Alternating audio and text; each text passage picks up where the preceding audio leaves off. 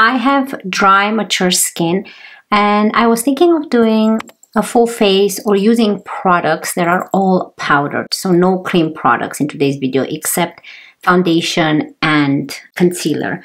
So for brows, I'm gonna go in with my Rare Beauty brow product. This is the Brow Shape and Fill Duo. You can see how much I've used. I'm hitting pan. And I'm just going to, hold on, oh, where it is, here it is. I'm just going to do my brows. I rarely do my brows on camera. There's, there's just too boring to do, not much as you can see. I'm just gonna quickly fill them in like that. It's not much I do on my brows anyways. And that's it for brows. So I thought I should show them to you because this is a powder type of product. So it's not, it's kind of putty, more powdery. I like that because it's not as powdery as eyeshadow, but it's more putty. So I like that about this because it actually lasts better and it doesn't smudge throughout the day. So that's basically it. Okay, so that's all I do for my brows. What do you guys think? I hope they're okay. Oh, I should put my hair up as well. So, I'm excited. These are all products from my collection. Today is like nothing new. For primer. Oh, I didn't choose a primer. I wonder what, you know what? I keep testing this out. So let's go with this e.l.f. Power Grip Primer. And this is the one with 4% niacinamide. Uh, I don't know what I'm feeling about this. But you know what? Let's try it. So all I have is like um, some cream on my face. Like uh, it's, what time is it now? Right now it's like 5 p.m. when I'm filming this. So I have sunscreen since this morning. But I do have this type of cream. My Refer for dry skin. So this is what I have on my face. And I'm gonna put this sticky primer that everyone loves and I don't love it. I don't know. I've been trying it. It feels so yucky. Like I can't get used to the feeling. Maybe like it's a good product, but because I don't like the sticky part of it, like my finger literally gets stuck to my cheek and it feels yucky on my hands. Only good thing what I like about it is the packaging. But so far, uh, another good thing is that when I wore any type of foundations, they have not looked funny on me. So today we're going to go with the Laura Mercier Real Flawless Weightless Perfecting Foundation. And this is in the shade 1 and 2 Vanilla. I already did a re full review on this product a while ago and apparently it just went viral right now on TikTok. I have already loved this foundation before it went viral. It is a beautiful, lightweight, flawless foundation. The match is really nice as well. I know I love it. It feels very lightweight when you put it on your face. It, it gives you a type of I don't know, it's, I don't want to say oily because it's not oily, but it feels very lightweight, kind of like um, the Pat McGrath foundation and also the Giorgio Armani foundation. Okay, so for this, let's use my e.l.f. Ultimate Blending Brush and just blend it in. And then I'm going to go in with a sponge and make sure we get rid of any type of brush strokes. So let's see how this foundation actually works with the e.l.f. Power Grip Primer. I guess a little bit goes a long way with this foundation, especially when you use a brush. Look at those veins.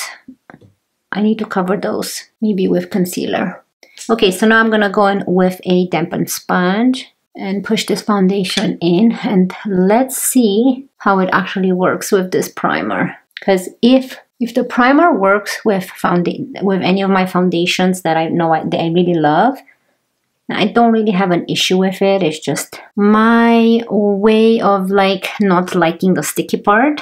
But I don't know. Let's see. I don't see any peeling, which is good. So, so far so good. You see how nice and flawless the foundation looks? It's beautiful. I like it that it doesn't look makeupy or cakey or drying you don't you can't see that you're wearing foundation it's kind of like skincare let's go into concealer so for concealer i chose my natasha denona concealer and this is in the shade P2, which has more of a peachy undertone. I also have a neutral one.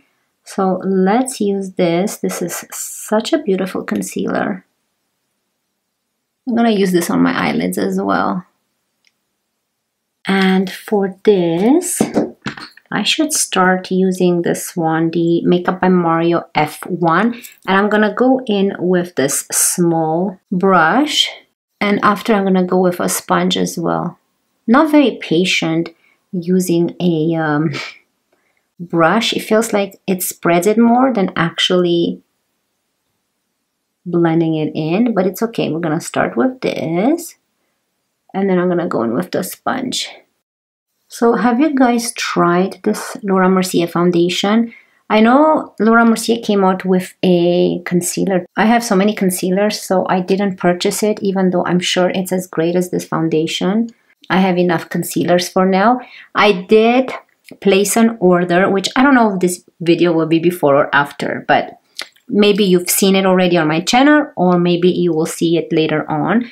But I did place an order of the uh, Ariana Grande new uh, blushes and I picked up a blush and a bronzer. I'll make sure to have a review on that as well. And uh, also I picked up the new Glossier bronzer because I do have a lot of the Glossier blushes and I love those blushes. They're some of my favorite blushes. They last all day long. Even though they're cream, they last all day long. So now we're gonna move on to bronzer. And for bronzer, I have chosen the Makeup by Mario Soft Sculpt Bronzer in the shade Light Medium. It's so pretty and warm. It's a great shade. And I'm to use my Hourglass dual-ended brush. This brush is just amazing. So this part I'm to use for bronzer and then this part I'm to use for blush. And this is for powdered products only. I do have a new Hourglass brush here. Stay tuned. I'm to do a like unboxing type of short and show you a couple of four new brushes that I purchased that I'm excited to show you. So look out for that video. I know this is more of a bigger brush, but I find it that it works so well with um, powdered bronzer. It seems to distribute the product a little bit more equally and makes it look more natural than going in with more of a sculpting type of brush. I just finished work and I have to cook dinner for the children as well. My son is in hockey right now, but I want to make sure that I cook and he has some dinner before he comes home. Today I'm planning on um, cooking uh, some Korean food. It's so, so simple. You make some rice, white rice, and we do have a rice cooker. So I usually make eight cups of white rice. No, not eight cups, four cups of white rice. And I have two pounds of um, extra, uh, lean, lean ground beef. You cook the beef till it's completely brown and then you make sauce um, out of some uh, soya sauce, some chili peppers. You put a little bit of salt and pepper in it and also a little bit of sugar. And then that whole sauce you pour over the the meat and then you let it simmer. Oh, it's so good. It's just the sweetness of the meat with the white rice. It's really good. The kids love it. So yeah, that's what's for dinner tonight. Look how beautiful this bronzer is. I just cannot stop bronzing. Okay, so let's go with this one now. Uh, I chose a drugstore highlighter and it's the Essence Pure Nude Highlighter and this is in the shade 10, Be My Highlight. It looks quite dark. I'm going to use the Makeup by Mario F2, which is this small part of the brush. And let's just highlight here before we apply the actual blush. So it's a very nice and natural highlight. It's not too crazy. You can see right here. I hope you guys can see it. Okay, so I usually like to apply my highlight before the blush because I have some fine lines here and also some smile lines. With that, when I apply highlighter, I've noticed that throughout the day, especially if the highlighter is powdery, um, it will kind of emphasize those lines. So I like to apply my highlighter a little bit lower here on the cheek than up here. And then with the blush, combining it with the highlighter, it's gonna look even more natural. Okay, so I have a hair here now. Why do all the hairs get attached to my face? Okay, blush. I chose the Dior Rosy Glow blush in the shade 020 Mahogany. This is a new one in my collection. And for this, I'm gonna choose, yeah, let's go in with the Hourglass brush. I'm gonna go in with the small one. This is such a beautiful shade, look at that. And it's deeper, so I'm just gonna be a little bit more careful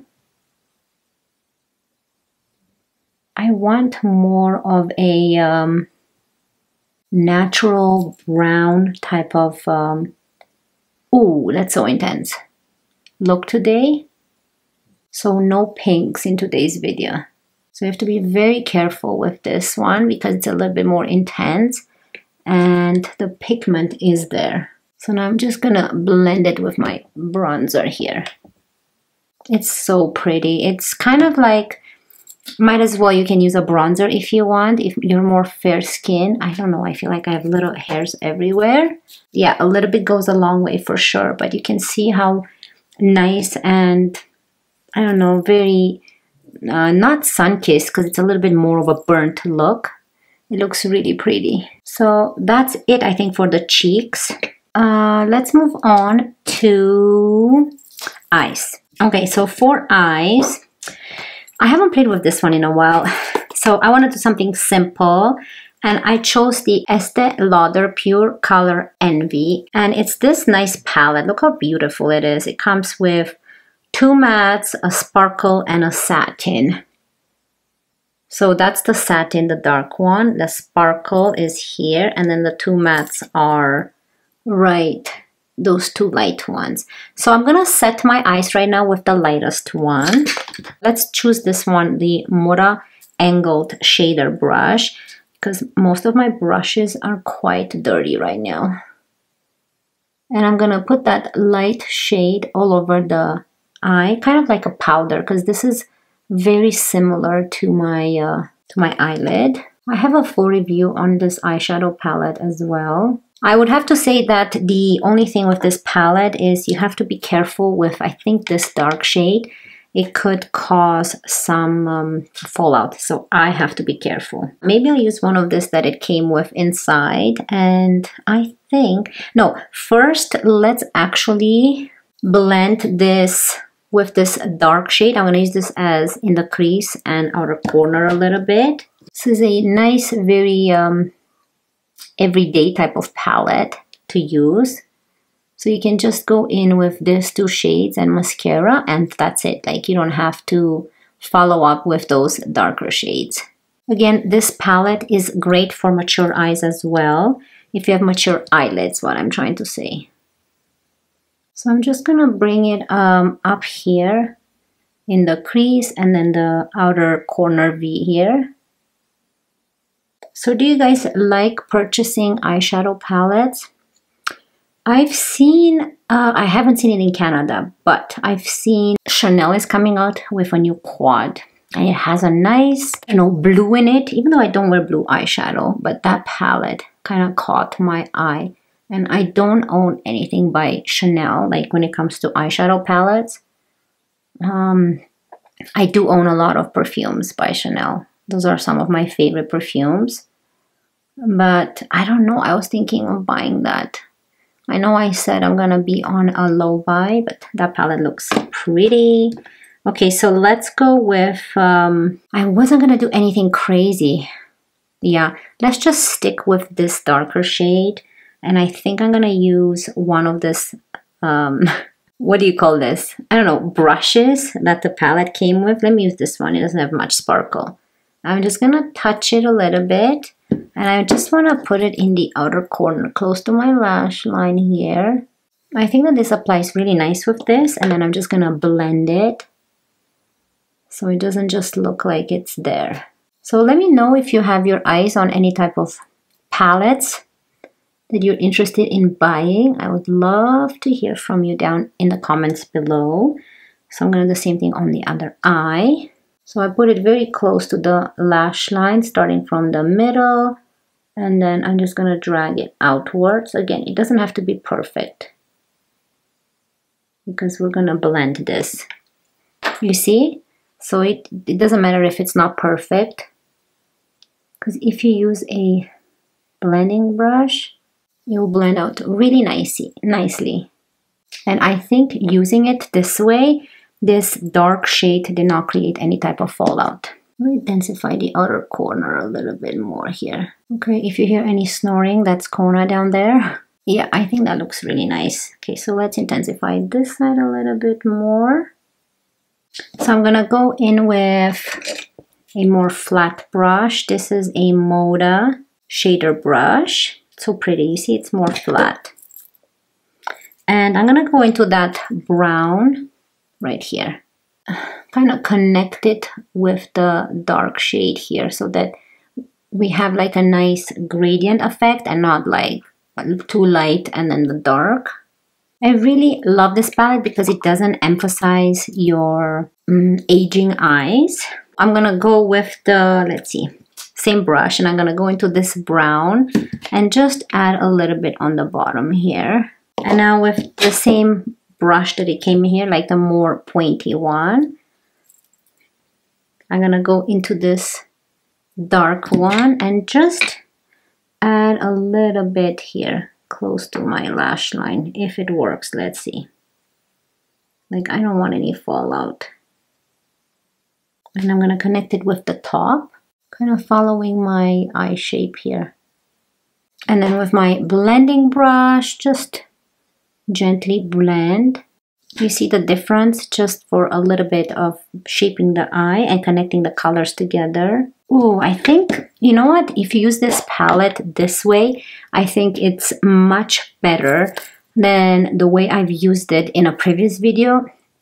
I think I've used the glitters all over the eyelid and then with the finger I've used or brush intensified with the satin black a little bit more but I think it looks much better this way.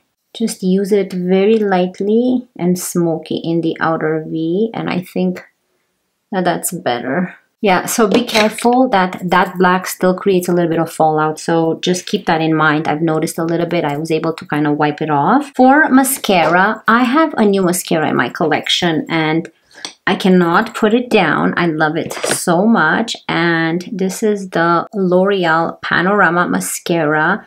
This is a very voluminous, lengthening, and just a great mascara to own. The top is not flimsy, it's more hard. It has small bristles going downwards, kind of like a Christmas tree, you know.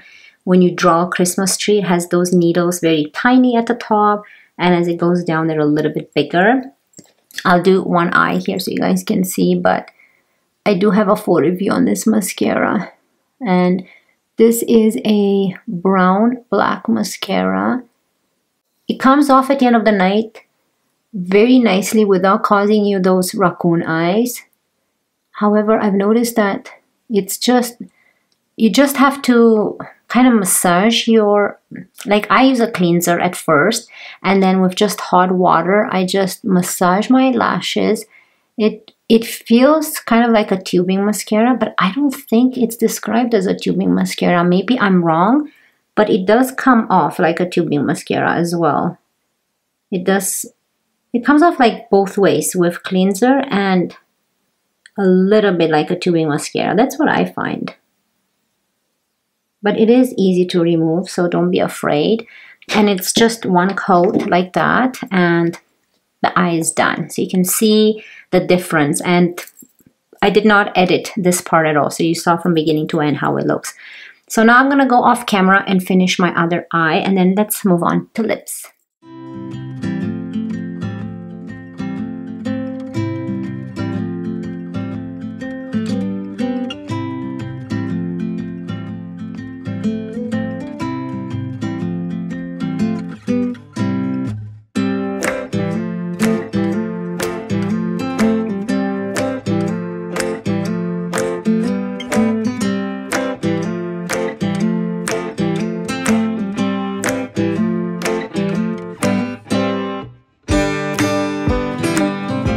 Okay, now look how look how this mascara makes a big difference to the eyes. I think uh, I just love it. And look how nice the eyeshadow looks. It's really pretty.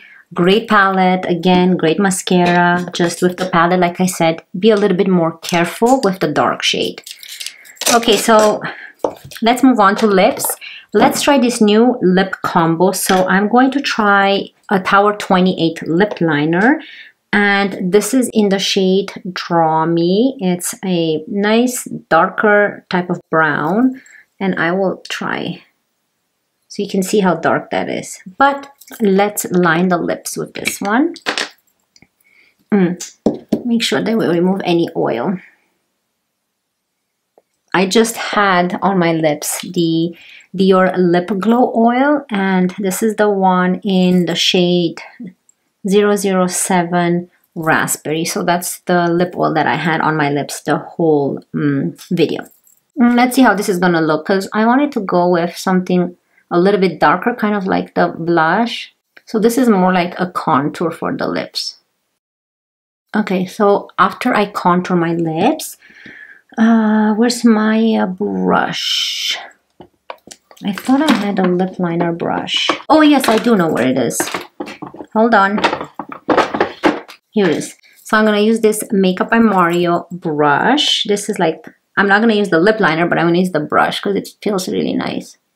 And just gonna diffuse this color so that it's not as intense. So you can see that after you diffuse it it looks much more softer. And for lipstick I'm gonna use my Merit lipstick. And this is the one in the shade Slip. I love this shade so much so pretty, look at that. So just use this. It's so hydrating. It does have a lipstick type of smell and taste. And yeah, isn't that pretty? Like, look, this lip liner, I will swatch the lipstick so you guys can see. So I combined these shades together. So you can see how actually the this color looks really nice with this because if you kind of blend this, then the contour is not as harsh. But if you like more of a contoured lip, then you can just leave your lip contoured and then add a lighter shade. Let's fix this here a bit. I always tend to make one side a little bit more crooked. And yeah, here is the final look. What do you guys think? Let me take this out. Oh no, leave this in. I love my butterfly flowers in. Okay, so I wanted to show you that even if you have mature skin or dry skin, you cannot be afraid of using just powdered products. You don't need to go for creams only.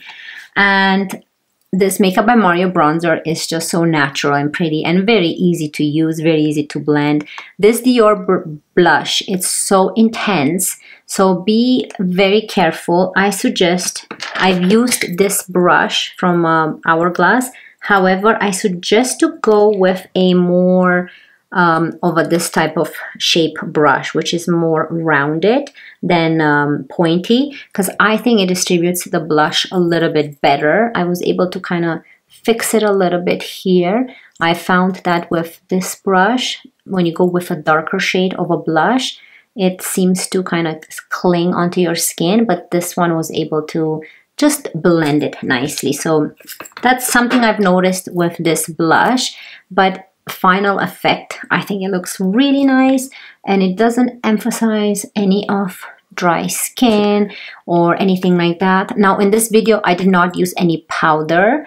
Um, a good powder you can use is the Givenchy or Charlotte Tilbury if you have dry skin. But in this video, I just want to just let my face breathe because I've already have enough powder. So I hope you guys really enjoyed this um, video. If you did, don't forget to subscribe and I cannot wait to see you in my next one. Love you guys. Bye. Morning has broken, my windows are open. Wanna feel the wind blow through my hair.